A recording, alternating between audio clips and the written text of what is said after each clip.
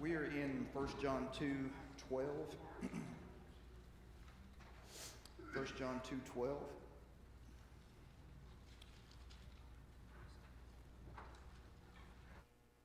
I want us to back up, though, and begin reading uh, in verse 3 and go through verse 17, um, because that's kind of the whole thought that we're looking at. And we looked at a couple of pieces of it last week and want to uh, continue those thoughts. So, 1 John 2, beginning in verse 3. And by this we know that we have come to know him if we keep his commandments. Whoever says, I know him, but does not keep his commandments is a liar, and the truth is not in him. But whoever keeps his word, in him truly the love of God is perfected. By this we may know that we are in him. Whoever he says he abides in him ought to walk in the same way in which he walked. Beloved, I am writing to you uh, no new commandment, but an old commandment that you heard from the beginning. The old commandment is the word that you have heard. At the same time, it is a new commandment that I'm writing to you, which is true in him and in you, because the darkness is passing away and the true light is already shining. Whoever says he is in the light and hates his brother is still in darkness. Whoever loves his brother abides in the light, and in him there is no cause for stumbling. But whoever hates his brother is in the darkness and walks in the darkness and does not know where he is going because the darkness has blinded his eyes. I'm writing to you, little children, because your sins are forgiven for his name's sake. I'm writing to you, fathers, because you know him who is from the beginning. I'm writing to you, young men, because you have overcome the evil one. I write to you, children, because you know the Father. I write to you, fathers, because you know him who is from the beginning. I write to you, young men, because you are strong, and the word of God abides in you, and you have overcome the evil one. Do not love the world or the things in the world. If anyone loves the world, the love of the Father is not in him. For all that is in the world, the desires of the flesh, the desires of the eyes, and the pride of life is not from the Father, but is from the world. And the world is passing away along with its desires, but whoever does the will of God abides forever. All right, so he's talking to us about how we walk in this particular section. And you remember last week we went through and we talked about obedience and how there was uh, kind of a sneering at obedience. Uh, and in certain circles, that's still very much alive. Obedience is considered to be something that is suspect. Like, if you think obeying God is important, that means that you think you can earn your way to God. That's not true. You can obey God from the right motive without believing that it earns you anything before God. Okay? But that's, uh, we'll talk more about that in the application side, hopefully, here at the end, uh, where that thought developed and how we need to take a, a proper approach to it. God doesn't tell us, He doesn't. In the New Testament, you can go through and you can read the imperatives when you look in the Greek text, the imperative, which is not hard to understand. If it's an imperative, it's a command. There are commands all over the New Testament. If He doesn't expect us to obey them, then why make them an imperative? Just suggest them. Obedience must play somewhere along the way and trying to locate that and be accurate in that location can prove difficult. And then in verses 7 through 11, dealing with brotherly love, which was obviously an issue with the group that was teaching. Um, this hyper elitism that developed amongst them, that um, you can see very quickly how they would come to despise and look down on. Oh, you haven't been given the, you don't have that special knowledge like I have it. And what John is saying, well, if you are a grade A jerk and hate your brother, you don't have that light either. It's just that simple. And you know, there are a lot of people who still have that problem. And one of the things that I have said to, to them in conversation and in other places discussing uh, that scenario is this even if what they are saying is right, how they say it is wrong, and therefore they are wrong. Okay? You can't say truth in an unloving way and say, well, I'm standing for truth. No, you're not. Truth, part of truth is love. And anybody who tries to divorce the two well, either can't read or isn't trying to interpret Scripture faithfully. So you can see how this attitude develops. Now, where we pick up now is talking about a love for the world or love for God versus a love for the world. And you remember these uh, particular teachers, this influence was that it didn't matter how you lived. It, would not, it wouldn't affect your soul. And so we move from mistreating other Christians to basically saying how I live before God doesn't even really matter. And remember, we've uh, addressed some of these things in the opening chapter and in the prologue and those things, but the rest of the book will be continuously circling back to those points and saying, hey, that's not going to cut it. Okay? So, in verses 12 through 14, he does something that is, I mean, it's, it's peculiar. And, and I say it's peculiar for this reason that he addresses little children, fathers, and young men, and then he turns right around and he addresses them again, saying virtually the same thing to both of them, right? Not much changes. If you look at the message of what is said in verses 12 and the first part of 13, not much changes in the message to those groups in 14 and the latter part of 13. And so, and it also comes across, you can see it in English but notice in 12 and most of 13, he says, I am writing. These are present tense statements. I am writing. But at the end of 13 and in 14, he moves to more of a, well, in the original, it's aorist, so it's past tense. So it's I wrote, I write to you, or I wrote to you. It would be a more faithful uh, rendering of, of what the language actually reflects. And so it's the best that I've heard, and it still doesn't make any sense to me, is that it's just a rhetorical device. That is, it's just a, something that may have been familiar to them of a way of emphasizing a point. Okay? Uh, and that's possible. I mean, he, repetition is not a, you know, it's a very common rhetorical method uh, to try and communicate to people. So, but I do want to pay attention to a number of things. First of all, that he addresses different groups of Christians. He addresses little children, fathers, and young men. Okay? Um, there are others that see it differently. I'm just going to give you my take. Because if we talked about every debate that ever existed about every text, well, you'd be more tired of me than you are now. But the, uh, the idea, as I understand it, is we're dealing with Christians and their spiritual age slash maturity. Okay? So you've got young children, you have people who are young in the faith, children. You've got young men people, and by the way, this is not, again, this is, not, and we'll talk about this, this is not a physical age, this is a spiritual maturity, okay? You've got people who are young men in the faith or young women in the faith. And then you've got fathers, you've got old men, pillars, old women, pillars in the faith. And so he's writing to each group, and what he's doing with this is reminding them something about themselves and their relationship with God. And then he's using this as the foundation for what he's going to say in 15 through 17. You would, you would be violating everything that you have done to go back now and act and love the world.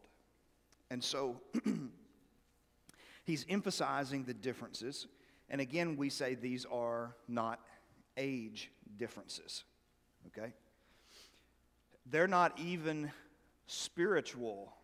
I think I said spiritual age differences, but that's really not even accurate. Because you can have a person who spiritually was born again 60 years ago, but they're as spiritually mature now as they were that day. Like no growth has happened. Okay? You see, we many times we confuse age with growth. Now, why do we do that? Well, because you expect it. You expect people to grow as they get older. But that's not always the case. Okay? Um, and so, just because a person has been a Christian for so many years doesn't mean that they're mature in faith at all. And so, that's, you see, one of Brooks' favorite statements um, is that growing old is mandatory, but growing up is optional. You don't have a choice about growing old, but you do have a choice about growing up. And, and you can't keep making excuses for everything else. You, you either grow up or you don't. So, when we look at these particular headings and these particular groups, I think that's what he's dealing with. He's addressing them individually and does it a second time around just maybe to emphasize the point. So, more specifically, verse 12 I'm writing to you, little children, because your sins are forgiven for his name's sake. Okay, for his name's sake, most likely a reference to Jesus. This goes back to 1 John 2 2 and what we'll see in 1 John 4 10 that he's the propitiation for our sins. He's the appeasement. God forgives us on his behalf, okay, because of his sacrifice. And so, little children, they have been forgiven. Again, little children in the faith. I'm writing to you, fathers, because you know him who is from the beginning. That is, they've had a relationship with God from the very beginning. They've, they've been at this for a long time, okay? And they're solid and they're steady and they're not going anywhere. in, in all the years when people have fallen by the wayside, they have remained faithful and the same. And that's why um, Paul tells Timothy in 1 Timothy 5 that the way he is to conduct himself with older men in the congregation is to treat them with the same respect that with which he would treat his father. Okay, and young men, you treat them as you would treat your brothers. Um, he's not wanting Timothy to go in there and be like, hey, I'm Paul's protege and I've got this figured out and you need to listen to me. he's saying, no, you need to go in and you need to be respectful and understand that you have a lot to learn and that there are things that people can teach you and there are ways of helping people. But going in and saying, I'm the solution to the problems, definitely will not help anyone. Okay? So, but you see the designations of young men and fathers in 1 Timothy 5 and verse 1. So they've known him who is from the beginning. They've had a, a long lasting relationship. And then he says, I'm writing to you, young men, because you have overcome the evil one. And of course, the evil one is Satan when we look throughout this letter 1 John 3 12, 1 John 5 18 and 19, uh, a bunch of other texts we could look at. So you have overcome him, you have conquered through Christ. All right? And so now he repeats the process. I write to you, children, because you know the Father. Okay? That's a little bit different than what he said the first time, but it's also the same. Okay, salvation in John's writings many times are referenced as knowing God. For an example, in John 17, when Jesus prayed, he said, And this is life eternal, that they would know you, the only true God. Okay? So there's an equation. You have to, we have to understand how he's using the language. And so to say, because you know the Father, is a way of saying, You've been forgiven. You've been adopted into the family of God. Then he says, I write to you, fathers, because you know him who is from the beginning. Okay? Which is exactly the same thing he said the first time.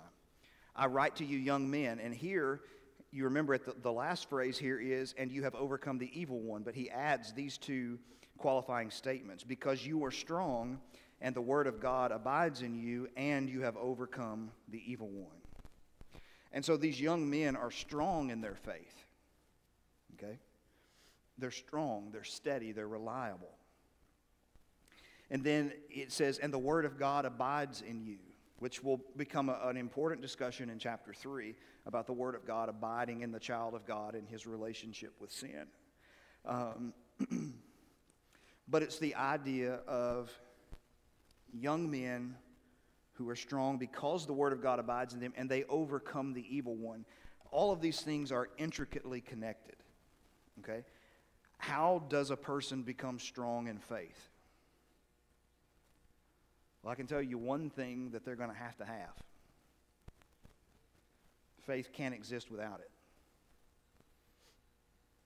You got to have the word from God. You have to know what God says. How can you have faith? Faith is produced by hearing the Word of God.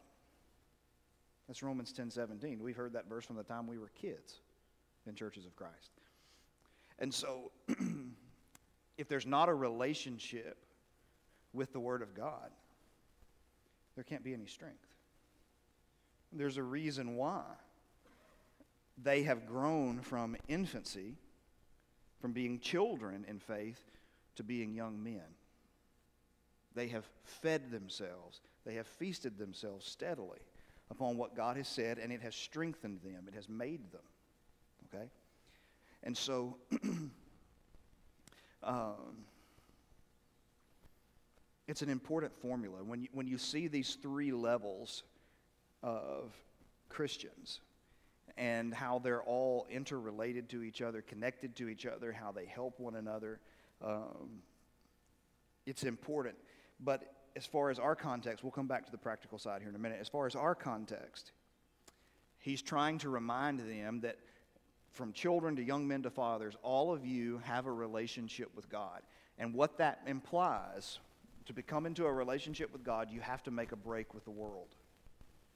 You cannot continue to love the world, which is going to be the subject that he spends the next three verses talking about. Okay? So, understanding who you are. Okay? So,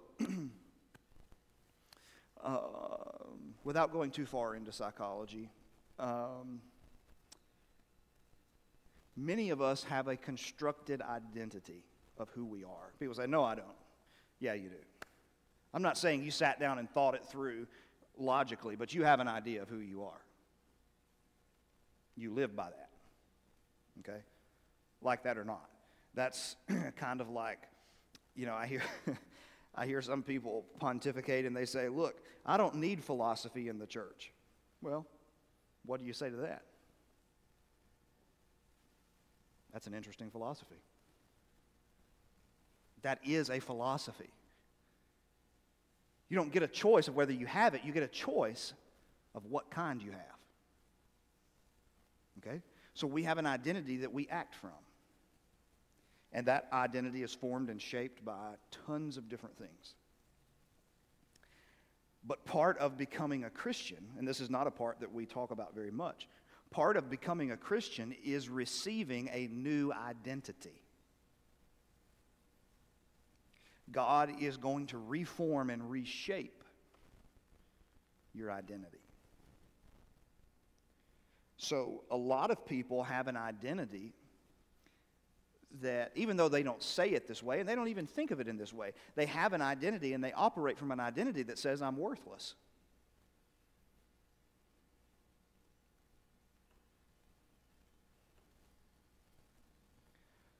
Let me give you one that's classic. You can usually tell a lot about a person's identity, well, at a number of levels, but when a person makes a mistake, how they think about their mistake tells me a lot about their identity. For an example, I've seen people make simple mistakes, silly mistakes that everybody else has made, and they go, oh, I'm so stupid.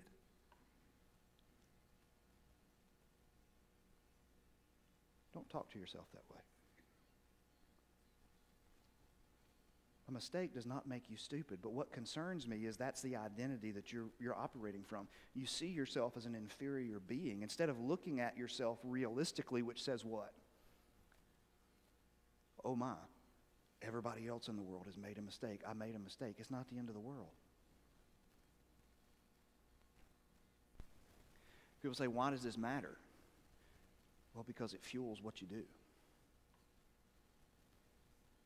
And what John is trying to say is in Christ, you've been given a new identity, and you have to act in ways that are consistent with your new identity. No, you're not unlovable, regardless of how many people have communicated to you in your life that you are. You are loved and cherished and adored. And you have to act from that identity and act in, that, act in your relationship with God according to that identity. Um, but John's focus here is You've been given an identity. You've become a child of God. You've been born into his family. So, that means the things with which you once viewed with great affection, you no longer view them that way.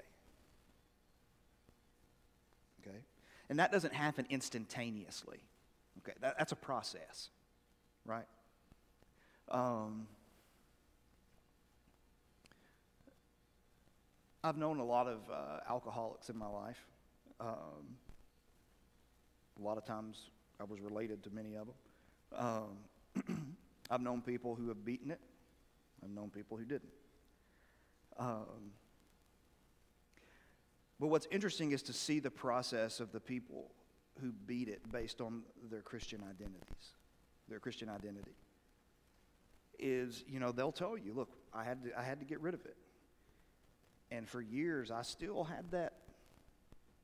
I still had that inclination, like I still wanted to go do it, and I would still give into it on occasion. But now I've gotten to the point where it literally has no appeal to me anymore.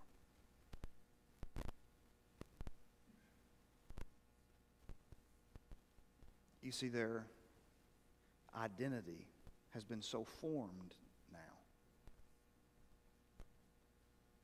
that even their affections have changed. The things that they used to love, the things that used to draw them, don't draw them anymore. And that's part of what becoming a Christian is. It doesn't mean that God is going to magically flip a switch in you that says every one of your sinful desires is now turned into a good desire. But you give me time, you submit yourself to my will, you will learn at some point. And this is the great tragedy in my mind is that some people have still yet to learn to serve God with joy. They still view him as the person who's like the gatekeeper who won't let me do it. He won't let me do what I want to do. And really, what that is, is massive immaturity. Right? We understand that. Listen, if a 16 year old says, Look, my parents won't let me stay out till whatever time I want to and come in whenever I want to, what do we say to that? You're immature. I love you, but you're immature. You have no idea. They have no idea what happens in those hours, do they? None. You have no idea what can happen to you in those hours. well, you're just, you're just being, you know, you're just trying to keep me from having fun. That's not it. Okay, we can see that with a teenager, but why can't we see that with God? When He's putting up boundaries and bridges, He's not saying, well, He just, you know, He doesn't want us to do any of that. He just, you know, He doesn't want us to have it. Who gave you the ability to even have fun? He could have created us without the ability to enjoy anything. Maybe he understands how that joy is best fulfilled.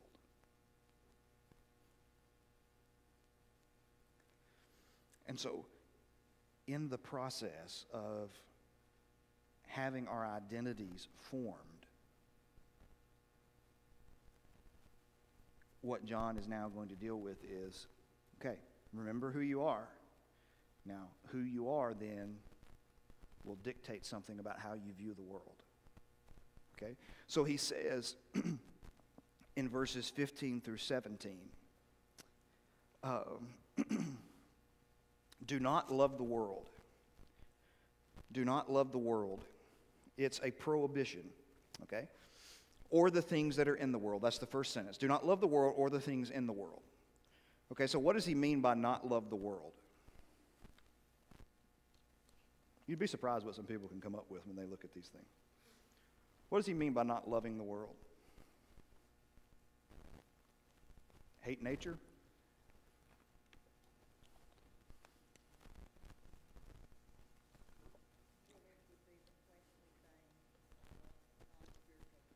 Exactly.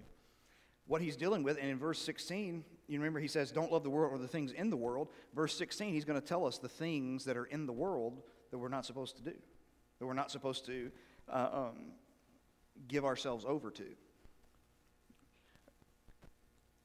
Not only should Christians enjoy the world, I'm of the opinion that they can enjoy it better than anybody else. I believe that.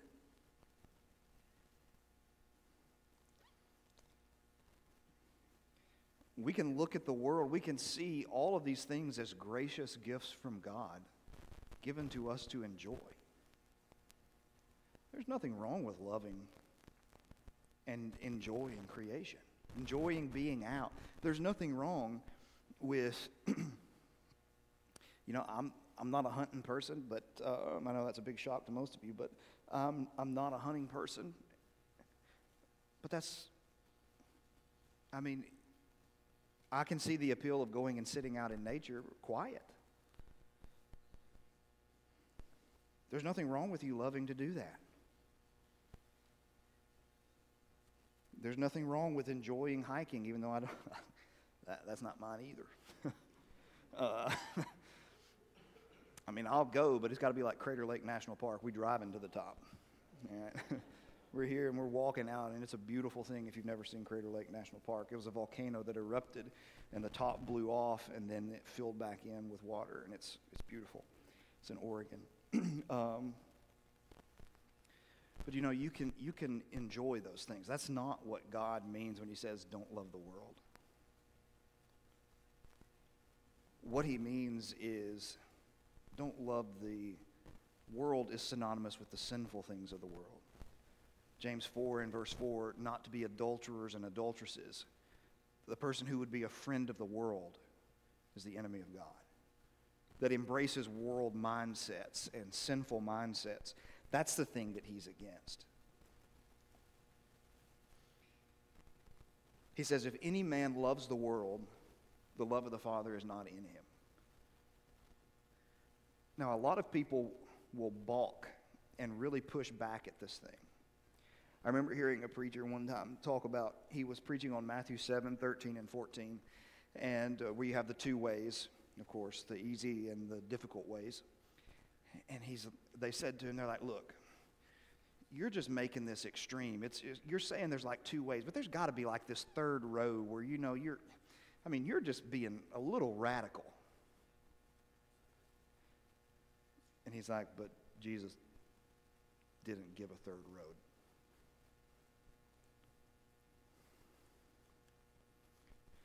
I mean, you can be lost, and I've been lost in the pig paths of Arkansas many times going to preach. Um, well, I'm not saying that because I said I'd never preach in Alabama and Kentucky, and are only two places I ever preached.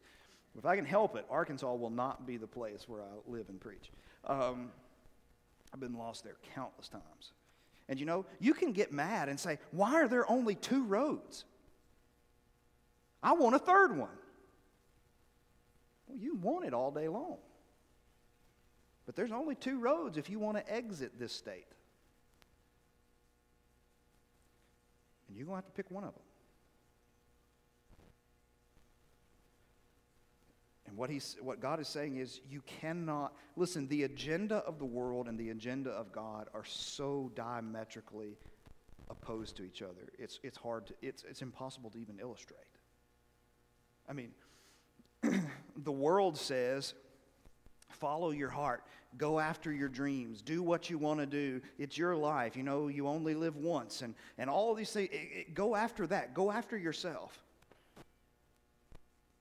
The message of God is die to yourself. Live for everybody else around you. It's completely different. If any man loves the world, Listen, you can't claim to love the sinful selfishness of the world and love God at the same time. They're two different people. They're two different beings. They're two different approaches to life. and so he says, so this is what is in the world the desires of the flesh, the desires of the eyes, and the pride of life. It's not from the Father, but it's of the world. God didn't God does not promote these types of things. The desires of the flesh, matter of fact, God says the flesh and the spirit war against each other. You have this internal conflict. And people say, well, it's interesting. We struggle as Christians because we say, well, I kind of have this desire to go and do this, but I know it's not right. Does that make me bad? No, that makes you a person who is battling this flesh and the spirit.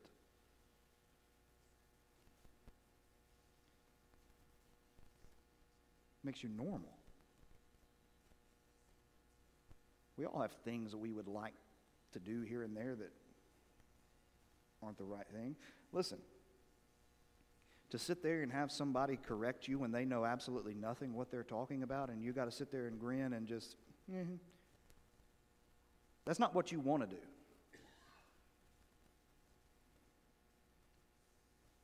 That's not what your flesh is telling you to do. Your flesh is make them feel this tall. Show them just how ridiculous they are. Show them just how little they know.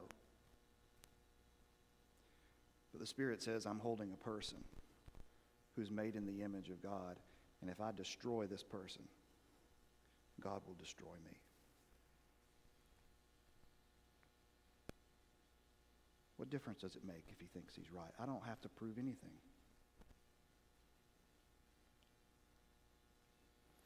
So you get that battle. Desires of the flesh, physical desires, things that feel good. Is sin pleasurable? I love asking that question in church because people are always afraid. They don't know how to answer it.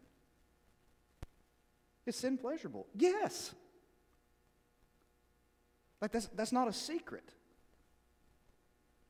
I mean, first of all, God said it. He knows it is. Hebrews 11, that's what Moses' calculation was in his mind. He would rather suffer now than enjoy the fleeting pleasures of sin for a season. This is why one writer in Christianity has made his whole I mean, his whole ministry is based upon not denying that sin is pleasurable, but affirming that God is more pleasurable. That's his whole ministry.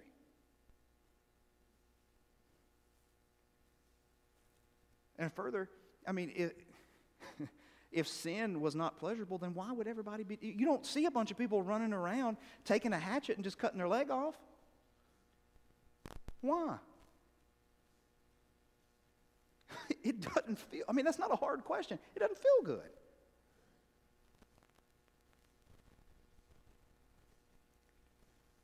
The question is not about whether or not sin is pleasurable because it is. The problem is the things that are attached to it in Hebrews 11 and here is that the pleasures of sin are fleeting, they're passing, they're momentary, they don't abide. And therefore, pleasure is something that the world cannot sustain. That's the issue. God is not anti us experiencing all different types of pleasures. He gave us the ability, the sensibilities in our bodies and other places to enjoy those types of pleasures.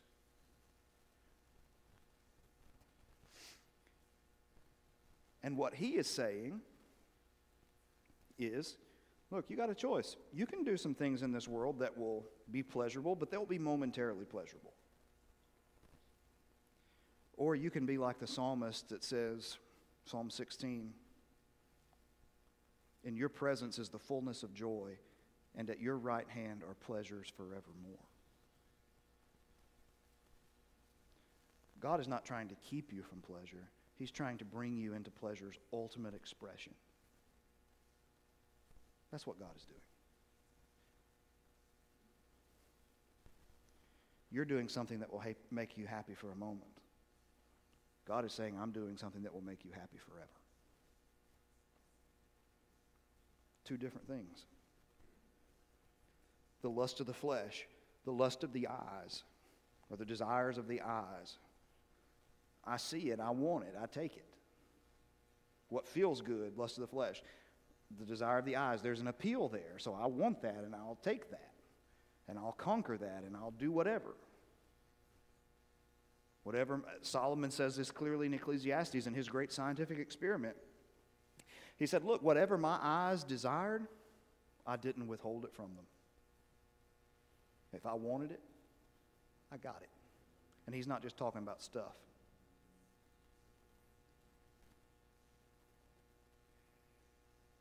And what's interesting is to listen to Solomon's statements throughout Ecclesiastes when he says, shortly after he says, Whatever my eyes desired, I did not keep from them. You know what he says just a few verses later? And therefore I hated life.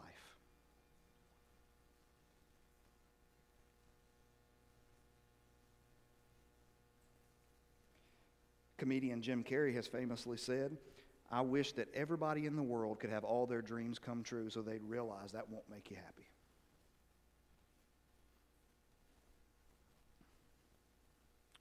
Robin Williams said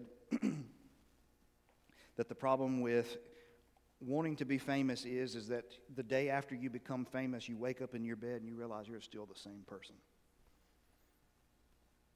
Not one thing has changed. You just got a little bit more money a little more recognition. Or as matthew perry famously said in his biography i prayed for god to make me famous. I prayed for the wrong thing.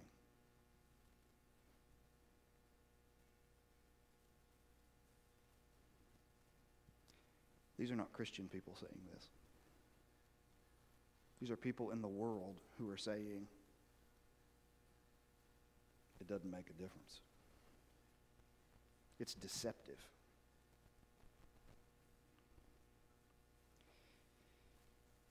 So, the desires of the flesh, the desires of the eyes, and then the pride of life. Or some translations, um, I forget, the NIV had an interesting take. Uh, what does it say? the boasting of what he has and does. The boasting of what he has and does.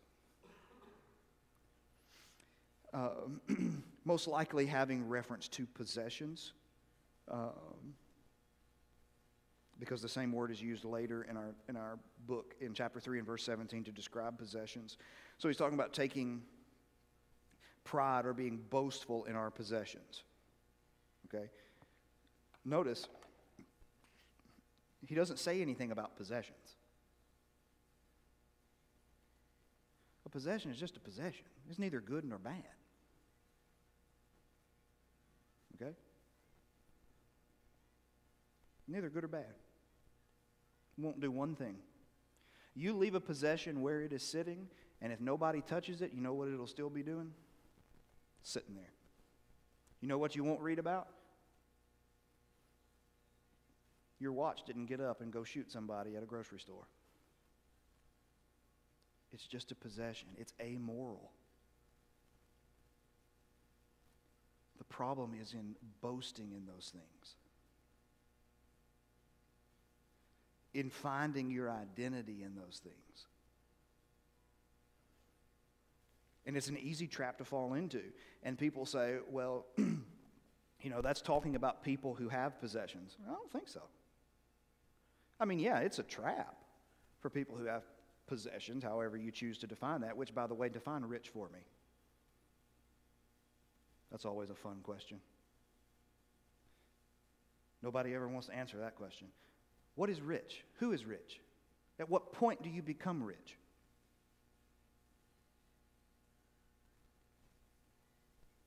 You see, everybody kind of assumes that there's this thing out here, but nobody really wants to drill down on it. The Bible is, is not, listen, when God blessed Abraham and Job and Isaac and Jacob, he didn't just make them multimillionaires. You sit down and do the math, he made them multi billionaires with a B.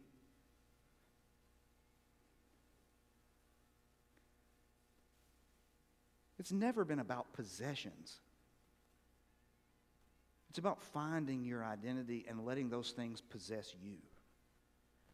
And you know what? There are people who are as broke as broke can be, and I believe that they are fully in violation of the pride of possessions. Because that's all they think about. It's all they think about. It's no difference. You're just find, you just don't have them. You're finding your identity in them, and you just don't have them. So, what he's saying is, these can't be the things. Listen, if. so, you get into all these different exercises at, at different places. But, uh, you know, you go to a place and somebody says to the whole group of you, we're going to go around and we're going to ask you to introduce yourself. Now, you tell us your name and you tell us who you are. And by who you are, that cannot be what you do for a living. They usually say that to a group full of men because men tend to identify with their jobs. I'm a, who are you? This is my name. Well, what do you do? I mean, it's fine. I'm not saying there's some kind of diabolical scheme in it. I'm just, it's what it is. But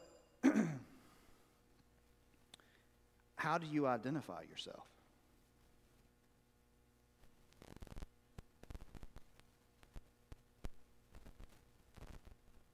Don't worry. I'm introverted. I ain't going to go around and look at people and, and ask people in a room like this and say, All right, Chris, tell me who you are. I'm not going to do that. Um, that's what he's talking about. Is my identity a worldly one?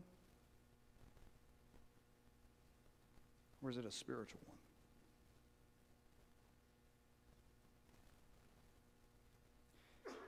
And what he's saying is the identity that you've been given, the answer to that question when somebody says, Who are you? and don't tell me what you do, the answer to that question is quite simple.